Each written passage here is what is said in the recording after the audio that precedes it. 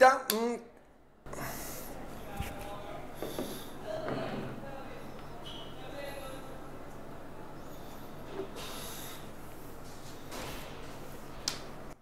qué mierda hablan los vecinos? Tengo que grabar de nuevo. La concha de su madre. Hola amigos, ¿cómo va? Mi nombre es Alejandro del canal Buen Espectacular. Espero que esté muy bien, carajo. Hace calentar. Bien, vamos con dos joyas a nivel internacional. Vamos a actualizar lo que es el rendimiento 2023 del One Million versión EDT o de Toilette y el Paco Rabanne también eh, Invictus o de Toilette. Y tenemos un perfumito argentino 212 Giro. El copia de la patineta, vamos a hacer si vale la pena. Eh, vamos a ver si vale la pena, mejor dicho, o no, ¿ok? Bien, yo sé que hay mucha gente que cuando arranca con la perfumería sabe que, ¿qué pasa? No, este comprate One Million, comprate Invictus, es el clásico. O sea, esto marcó un antes y un después en la perfumería moderna, ¿ok? Eso no se puede discutir. Ahora bien, siempre fueron Beast. Este fue por lo general un perfume para otoño-invierno y esto para primavera-verano. Eh, ¿Siguen siendo Beast o no? Bien, vamos a verlo. ¿Cuándo? Después de la intro. Largala, dale. Pisa fuertemente ese motor de los dos. Como ya te dije, otoño-invierno, un perfume hermoso que tiene una salida mentolada de mandarina y pomelo. Lamentablemente se va rápido ese inicio y queda básicamente lo que es un perfume de canela y cuero vainillado. Riquísimo, hermoso, ¿sí? Eh, espectacular. Ideal para las noches de invierno, de frío, para salir de joda. Eso era antes porque era una bestia. Hoy, ¿qué pasa? Lamentablemente te tengo que decir que este perfume ya no es lo que era. ¿ok? Eh, en piel duró 6 horas, pero bastante tenue también. Tampoco te creas que es como antes, que estaba ahí clavado a morir. Y la proyección en un lugar cerrado de 8 metros, como siempre mido distancia, me llegó a la hora, se hizo percibir durante una hora entera a 5 o 6 metros, eh, pero de manera bastante débil. ¿eh? Y después de la hora quedaba un rastro, eh, un aura dando vuelta, pero ya de poco percibirse. Lo que hace que no te recomiende este perfume hoy día para nada. Por lo menos acá en Argentina no, porque tenés aromas que están muy bien logrados, como por ejemplo el City Glam o el Yeso 03, aunque ese Yeso 03 es como una mezcla entre el EDT y el Perfum, ¿sí? pero es una muy buena opción, de una potencia increíble, al menos lo que es el año 2023, no sé qué pasará después.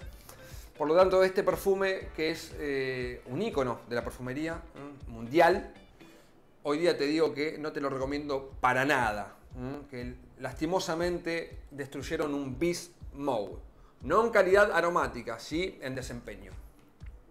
Antes que nada, estos dos son perfumes ganadores que se hicieron para gustar a todo el mundo, para que no desagrade a nadie. Aunque va a haber gente que dice que ya está cansado, bueno, eso es porque están cansados de olerlos, pero ¿qué pasa? Es porque se impusieron de una manera impresionante en el mercado. O sea, son eh, dos jugadores de primera línea, ¿ok? Eh, es más, se inspiraron un montón de perfumes en estos dos, ¿ok?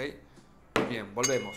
¿Qué pasa con esto? Este es el Invictus, el ADN Invictus año 2013, eh, este era el 2008. El ADN Invictus se suele decir, ¿sí? Ya que, como te dije, lo copian demasiado. ¿Qué es el ADN Invictus? Básicamente es ese aroma eh, marino y floral. Eh, laurel, jazmín y notas marinas es lo que más predomina. Sí, perfecto, este, no me confundí. esas son las tres notas básicamente que hacen a esta fragancia. una cosa hermosa, ¿no? Espectacular para todas las edades, ¿sí? Este también para todas las edades, aunque es un poquito más formal, eh, quizás para 25 años para arriba y este a cualquier edad. Ahora, ¿qué pasa? ¿Sigue siendo el Beast Mode que era? No, para nada. También extremadamente débil. El mismo rendimiento, quizás un poquito menos. En piel me llevó a la quinta hora y eh, la proyección igual. Eh, una hora y moneditas en un lugar cerrado. Una estela suave los dos, suave. Después de la hora prácticamente inexistente. Una lástima. Eh, el tema es que a este sí hay perfumes que están eh, muy bien logrados y lo copian. Este todavía no encontré, hay un montón de copias, pero ninguno que yo diga, wow, está muy bien logrado. ¿sí? Entonces, bueno, se podría llegar a comprar eh, si te gusta demasiado el ADN, mm, porque sí, es riquísimo, la verdad que sí, se zarpa. Pero bueno, lamentablemente, ojo, por más que esté ya recontra masificado, a mí si me gusta me lo compro igual y lo uso, ¿ok? Eso para mí no es motivo para no usarlo, ya eso es algo que dejé en claro acá en el canal 20 millones de veces. Entonces, dos clásicos que fueron destruidos en cuanto a performance. El aroma sigue intacto. eh, el desempeño, la verdad, lastimosamente raro de Paco Rabanne, porque Paco Rabanne siempre tiene buenas potencias en los perfumes. Y bueno, se ve que han decidido sumarse al, al destrozo del desempeño de la fragancia. Vamos a este frasco que es hermoso al lado de esto. Mira, es igual, ¿no? Una cagada. Pero bueno, este perfumito que ya eh, había sido descubierto en un video que hice con Walter, es un perfume que tiene un aroma realmente precioso, que copia a la patineta, eh, que básicamente es un aroma eh, afrutado, dulce, tiene pera. Mm, sí, tiene pera. Esto es pera, geranio, cuero, mm, son esas tres notas. ¿Qué pasa? Arranca con una pera full, se va opacando y lo que más queda es eh, un perfume herbal, ¿sí? Con cuero y una pera de fondo. La nota de cannabis te la debo, nunca la, la pude ver. Es un perfume para primavera, verano, hermosa calidad. Ahora, ¿qué pasa? El desempeño es una cagada, pero zarpado. Lo que hace que no lo recomiende ni en pedo. Eh, no me llegó ni a la hora de proyección en un lugar cerrado, te lo tengo que decir. La estela es inexistente. La fijación en piel me llegó unas tres horitas bien puestas. Después quedaba algo dando vuelta, pero muy a ras de piel. Lo cual es una lástima que no te lo pueda recomendar porque es un aroma impresionante. O sea, de la única manera que vos te lo puedas comprar es para decir, bueno, tengo un aroma impresionante, me lo guardo en el bolsillo, voy llegando. Hola bebé, ¿cómo andás? ¿Todo bien? Después, más allá de eso, es una compra al pedo, por más que valga barato, que una lástima, Vagués, porque hubiéramos descubierto algo que está impresionantemente bien hecho en cuanto a nivel aromático.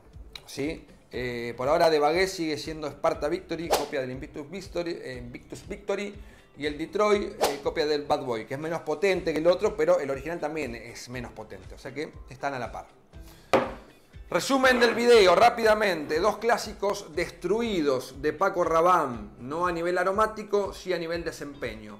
Una hora de proyección, quizás un poquito más de regalo.